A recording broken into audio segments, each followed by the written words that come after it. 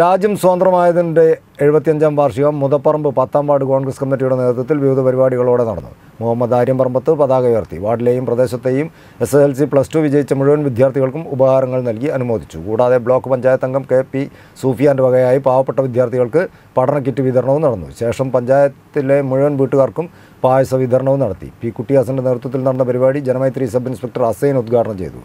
മുഹമ്മദ് മോഹൻ കാരാളിപ്പറമ്പ് മണ്ഡലം കോൺഗ്രസ് പ്രസിഡന്റ് അഷ്റഫ് കൊളക്കാടൻ മുൻ മണ്ഡലം പ്രസിഡന്റും പഞ്ചായത്ത് മെമ്പറുമായ കരീം പഴങ്കൽ സുബ്രഹ്മണ്യൻ തുടങ്ങിയവർ സംസാരിച്ചു. വാർഡ് മെമ്പർ മറിയാൻകുട്ടി ഹസൻ അധ്യക്ഷനായി.